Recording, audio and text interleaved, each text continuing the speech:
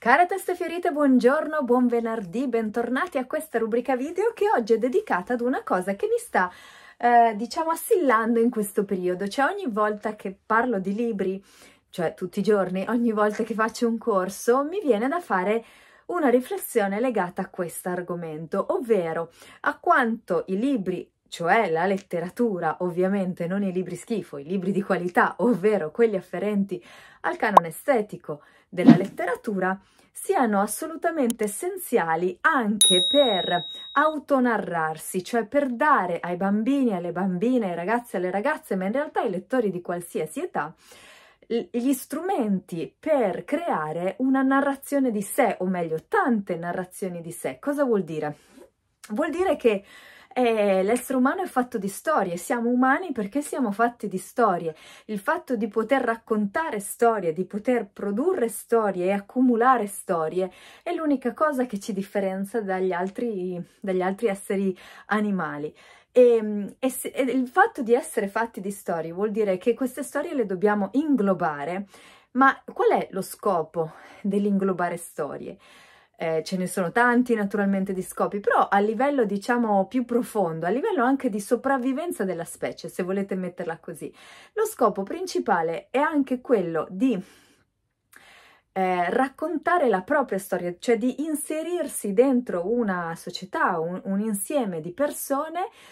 eh, attraverso la narrazione di se stessi e questo vuol dire un riconoscimento di se stessi, del posto che occupiamo nel mondo ed una identificazione di ciò che siamo, cioè il riconoscimento della nostra identità. Ora, come facciamo però a raccontare delle storie di noi stessi? Cioè, come facciamo a raccontarci? E la letteratura serve anche a questo, cioè le forme tutte le forme narrative che incontriamo servono ad offrirci anche eh, uno spunto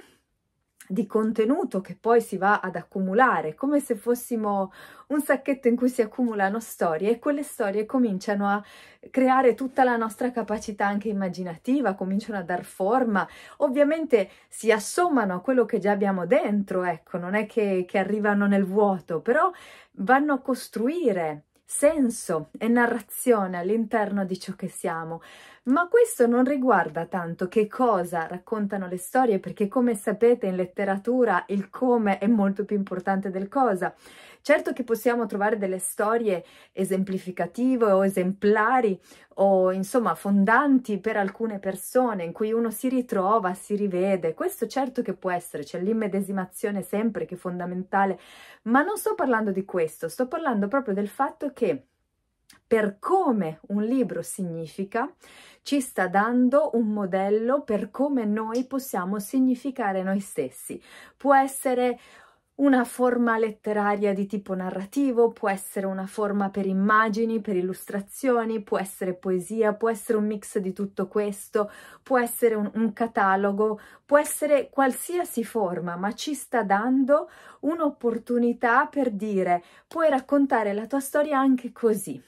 E credo che questo sia fondamentale, perché se è vero che ogni parola è eh, una freccia all'arco del linguaggio, come dice Chiara Carminati, è anche vero, secondo me, che ogni storia è una freccia all'arco della narrazione, della, dell'autonarrazione, cioè della capacità di raccontare noi stessi. Eh, quindi ogni libro vale per sé, cioè vale di per sé, non solo per ciò che racconta, questo non lo vale mai dal punto di vista letterario, però certo che il suo contenuto ci può colpire in maniera più o meno forte